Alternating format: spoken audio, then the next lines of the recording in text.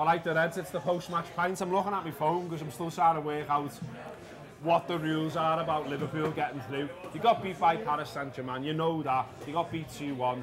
You probably deserve to get beat 2-1. We'll get into that in a minute. Um, but this is according to BT Sport. So put your complaints their way, not my way. Deep breath Liverpool fans, they said that, not us. Uh, if Liverpool beat Napoli at Anfield 1-0, they go through. If Liverpool win 2-1, they go out on away goals. And if Liverpool win by two goals or more, they're through. Sounds. Piece of piss. So there you go. Kev Walsh says it's a piece of piss. Ian Ryan, what do you think? Uh, The second in Serie A, they beat us away. They're not mugs. they're not mugs. An Italian team, managed by Carlo Ancelotti. I don't see it being easy, but to be honest, mate, we have to play a hell of a lot better than we did tonight because that was that was poor tonight. And uh, Kevin and I were chatting off there before. I think second half you see a Don't little say bit that, of- it does someone's Oh, head in. does it? I couldn't give a fuck to be honest with you. And it does, someone, it does someone else's head in that you're drinking a bottle. Does someone else's head in that I haven't even got a drink. So let's get it all out the way, eh? Go Well, on, to sorry, be mate. fair, I mean, you start the start of the game's not great, and I think you can look at the lineup he's picked tonight, and I can see why the manager's gone with that midfield three because he trusts them and they've they've done him a good turn in the past. I mean, they, they played in the first game against PSG and do well. My issue with it is that midfield's not set up for when you go a goal behind. If you go a goal behind, all of a sudden you're looking at that midfield and thinking, where's the creativity? Who's going to run with the ball? Who's going to be comfortable enough putting the foot on the ball and spraying it round? It doesn't really befit any of them, to be honest with you. And I thought that's where we really struggled. You see the first goal, it's a simple kind of one-two, really. Gets in past Henderson, and then they're onto the back four. Don't get me wrong, the back four don't cover themselves in glory. I think Van Dijk will probably do better. Lovren's kind of caught on his heels a little bit. And then there's nothing the goalie can do. And from there, we're really, It's really struggling. It's yeah, a deflection. it's- It's a little bit of luck. yeah, there's a li- yeah, maybe, but we're not great there at all. And the first 20 were ragged, to be honest Yeah, with you. And and, over they, the and they look really, really good. And you can only see one winner. As I said before, second half, we're a bit better. First 10 15, we look like we might get back into the game. But when you look at our record this season in the Champions League away from home, it's three defeats now, and it's five shots on target. That's just not good enough. I mean, what Ian's talking about the midfield, so let's do the midfield. You either want it to be able to stop or create, or, or ideally both. And it, and, it, and it doesn't do me either, really, does it? It doesn't first half, but second half it does the same midfield, basically does the same job, the, the job that you wanted to do. So first half, listen, you're playing a team against PSG, they're fucking Yeah, they're aren't they? boss, yeah. They're brilliant. You get the ball, you, you cut- Mbappe's speed's unbelievable. well, not just him, the speed of thought from all of Yeah, from yeah. Varane right the way through. But it's one-touch football, and it's, it's literally little passes, and it, it, it cuts you open to death. Now, fair play, we don't cover ourselves in glory. By the same token, I thought we covered quite well. At the end of the first half, obviously, we were looking to get the pen. Well, I'm not lucky, but getting the pen when, when we did settle the stand. I thought second half we played really well. I don't, I, Without really creating anything. That, that, that's my but- issue. That's my again, issue. You, put- but, yeah, we're not really creating anything, possibly. But you, Don't you have know, a shot on target. yeah, but the thing is, you, we're, we're, we're getting further up the pitch, we're getting into dangerous positions, and what you get, what you're facing there is a bank of four with another bank of four directly in front of it because we are 2 0 down. Now, listen, that's our own fault because we fucked it up in the first half, or 2 1 down, sorry. But Well, they take it, don't they, to an extent. Exactly. They And go, they you know, make the- you, you look at the subs and everything else. Well, they make the game scrappy. Yeah. It's. The referees giving all sorts of daft fouls and yellow cards and whatnot. But the thing is, we, we still second half. I think there was a lot of positives to take from it. Listen, first half was terrible, but you can you can write that off.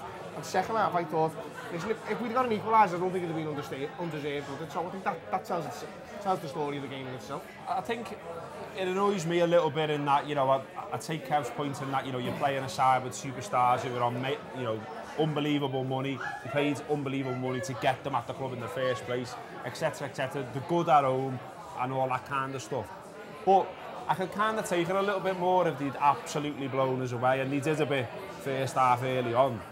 But then the fact that, I mean, maybe they were just toying with us and they let us have the ball and go, go ahead then, and we can't actually break them down and create something. But I don't know, just only getting beat by 2-1, it's a little bit annoying, isn't it? You know what I mean? It's, it, it's harder to take if you like. And I don't really get this, I didn't really like, might have even been Kev saying this, loads of people on the Anfield Wrap were saying it though about this sort of, it's a free pass and all that. I don't really like I that because... that.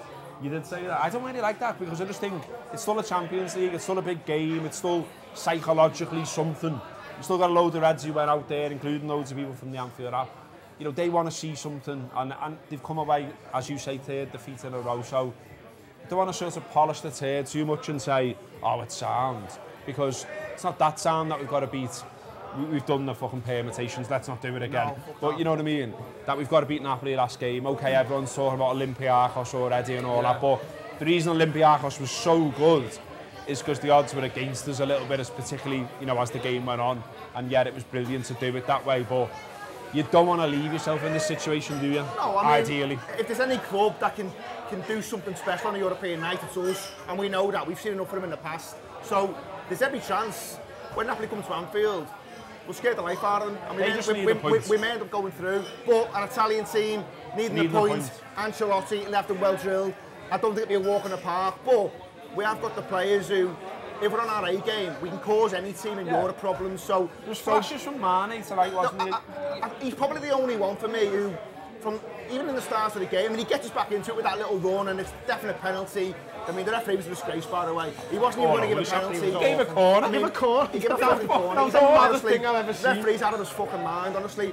And And it was the linesman on the on the far side who seems to give the pen. playing them is not enjoyable. I mean, I take Kev's point before, and even though we've had a, we- we've had a really good defensive record this season, but when a team can play that quickly and it's one touch and it's so fast and they've got players who are so quick with and without the ball, and you see for the goal where Lovren's kind of almost level with Mbappe, and within like two or three not right, seconds, he's 20, 30 yards ahead of him, and he just can't get near him. But then the other side of the game is they go down any time you go fucking near them.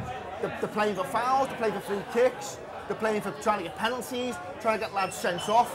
When in reality, you look at the fucking Verratti challenge He on Joe off. Gomez. He They should should, be be, they should be down to 10 men. Yeah, he should be off. And the referee's fucking bottled it. Um, It's a leg- and, it's a know, leg It's a breaker. leg breaker, Yeah, and you know, for all we can talk about Liverpool were poor in the first half, and they really were. If the referee gets that decision right, it could have been a different game. Who knows? If we do if we do individuals, Kev, uh, the, the midfield, I, I would say I don't know if you'd agree that probably Milner's the one who's the best of the three.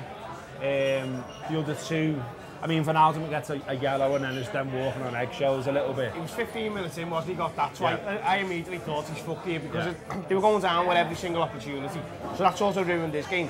Plus, he, Did you have had on earlier? yeah, because I, I think he, t- a game for him, a game like that is for him. Maybe at half time or whatever. When you, but getting the goal up so late on, it changes your whole view of the game, doesn't it? Because you think, well, do we still go for it like I was going with 2 0 down, or if we go for it and concede a third? So the permutations are different for it. I thought Henderson played all right, didn't he? Second half again, I thought they all played all right second half. I didn't think any of them done anything particularly bad. Henderson sometimes just a little bit sloppy in possession, a little bit hitting hope with some of the passes. But in the first half, he put that one over, right over the top onto Mane's foot, which is fucking hell if Mane got a touch on that. It's a great goal and it's a wonderful assist, isn't it? So the midfield, yeah, I'd say hit and miss. The defence was definitely hit and miss. I'd say Gomez and Robertson played really well, but the two centre-halves both at the moment. Like the clearance off Van Dijk for the second goal, what happened there? It's a, so, it's, it's a bizarre... I don't, I don't know, and Robertson doesn't cover himself in glory either for another one later on, but listen, they, they happened. The, thought the goal, he was excellent. He's brilliant. Absolutely spot it's on. It's back to that thing though, isn't it, where when, and I mean, I'm, I'm not defending the defence at all, because I think there was times where we looked, we looked really poor.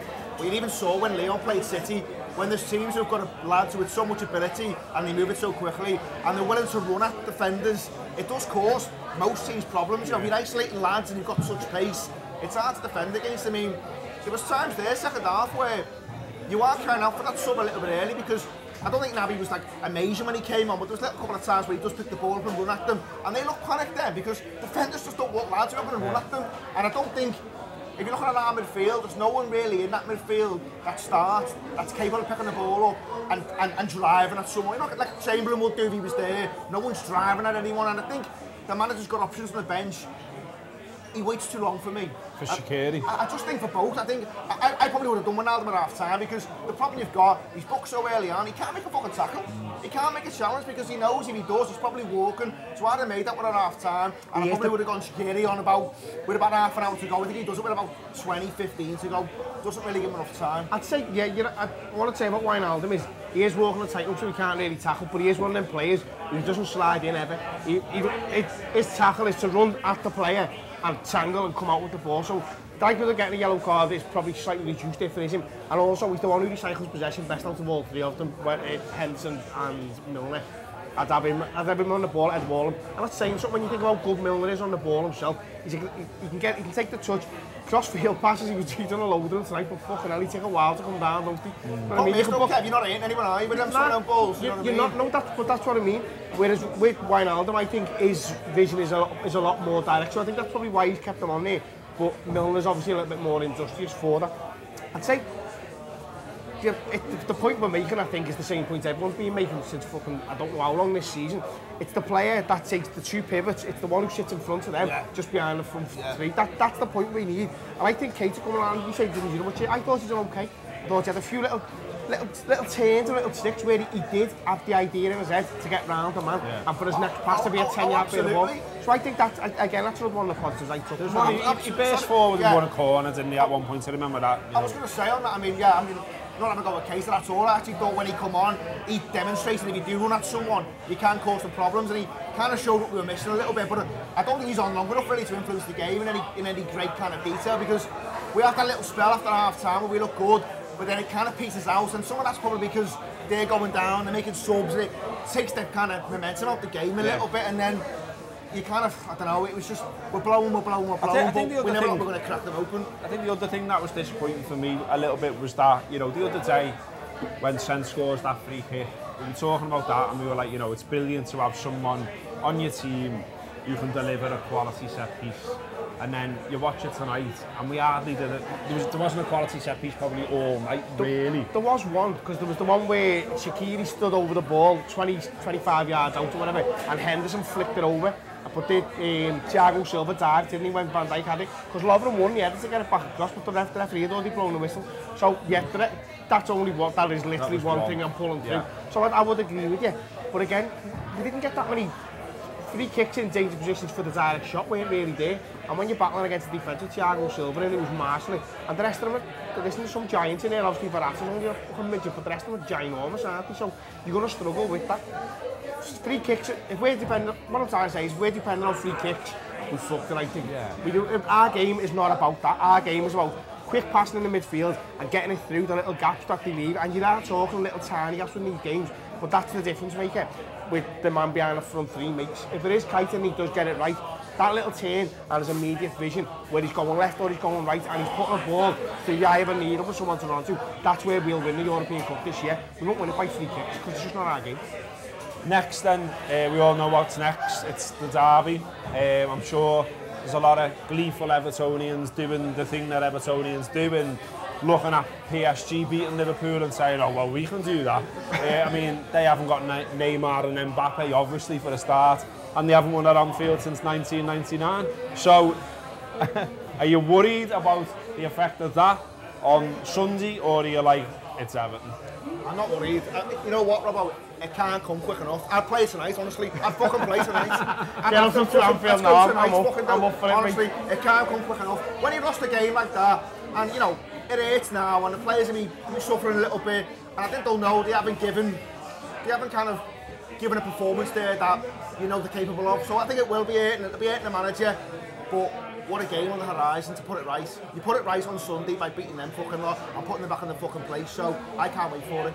It still feels, doesn't it, Kev? Like, I mean, you know, we in the league anyway. I mean, the, the European results, as Ian said before, you know, beat, losing three away is not ideal in anyone's book.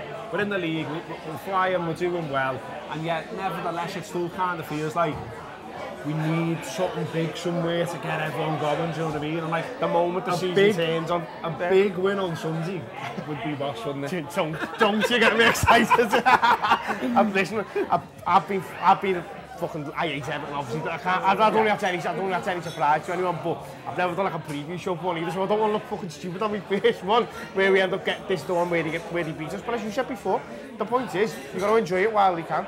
20 years since they beat Sir Anfield, and listen, they're going now now saying that their midfield is better than our midfield. You probably watched that tonight and thought, yeah, Gomez, Gay and whoever else, they having their Sigurdsson would have bossed that. They're not in the same, they don't play the same fucking game as our midfield, and on Sunday I think our midfield will prove that. And once at Anfield, once we get that control over the game and we do dictate the pace, That's the difference maker. Because tonight we can't dictate the pace because we're playing against a better team in their own backyard. Sunday, if Everton come with the confidence that they're full of, and listen, they are full of it at the moment, we beat Cardiff at the weekend one fucking nil. That's shite. Do you know what I mean? That's not a good result. That's crap. So if, we, if they come with that, and if they even attempt to play an open game, I think we'll absolutely chomp them. If they listen, but Silva's a good manager. He's got, he's got a tackle side to him. If he does sit in, he could get something, because anyone can get something. But I just open play that he got the same stupid misplaced confidence the rest of them have. And he comes and plays a little bit of an open game and we show him how football really played. is right. Uh, and finally, obviously the Napoli game then, it, it, all, it all hinges on that. I mean, I think we're right to say what we said earlier in that they're no mugs, the manager's no mug, it'll be tough and all the rest of it. We don't know how it's going to go. Obviously, we don't know what kind of challenge they'll offer on the night and all that kind of thing. But what we do know, we can say with certainty, is that it will be booming in the Absolutely. ground because everyone, we know and we're all right to say this, this isn't arrogance, this is experience as, as people who've gone the match for a long, long time. We know that we can get up for these European yeah. nights and it's going to be magical before the ball's kicked against Napoli, isn't it? And, and, they, and they need to prepare themselves for that. I know, I know they, they, they do it themselves to an extent and all that sort of thing, but Anfield on a European night is still special. And it's been special on the clock quite a few times as well. Absolutely, and I think, you know, we, we've heard it before from opposing players where they'll come out and say, well, we've played in boss atmospheres, we know what great atmospheres are all like. We've seen it before, Chelsea players, City players, you know, other, other foreign clubs who think they've played in atmospheres that are intimidating. But when it comes to playing on Anfield, when it hits them as they're coming into that crowd, it really hits them. And sometimes it's too big for certain players and they crumble under it and the pressure gets to them. And if Liverpool get a goal ahead, early doors, you can see them really kind of turn the screw and maybe beating Napoli by two or three. But it's all about the start for me. It's all about the mentality. And I think you know, tonight you see we start slow and you get punished for it. Yeah. Especially at this level, you know, European players, some of these teams, you know, you don't get second chances, so the manager will be drumming into them now. In that Napoli game, crowd up for it, players up for it. But when those chances come, you've got to be clinical, you've got to take them. Absolutely. Well, we'll be there all the way. Um, Napoli, the derby, we'll be doing before, after, during, all the Anfield Wrap stuff that there always is. podcast, video, writing on the site, theanfieldrap.com. If you fancy subscribing, get along to the site, go to the subscribe page, give it a go, £5 a month. And as I say, read the stuff on there, get on all the social media channels as well. There's loads of stuff on there from all the lads who are over in Paris. Should have been watching that all day, it's been great. Uh, this has been the post-match pint. Thanks to the boys. Hopefully next time we do one, we're talking about a Liverpool victory. Up the fucking Reds.